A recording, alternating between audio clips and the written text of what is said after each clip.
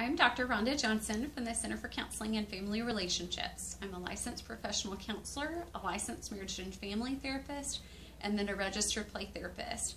In December, I'll be offering the ethics presentation at UBH, um, and it will be focused on Jeopardy questions that we'll use in answering all of the different elements of the social work board rules and the code of ethics, the marriage and family therapist board rules and code of ethics, and the licensed professional counseling board, their board rules and code of ethics. So we'll go through all those different elements and hopefully you'll know all of the new changes that have come into place within the last year.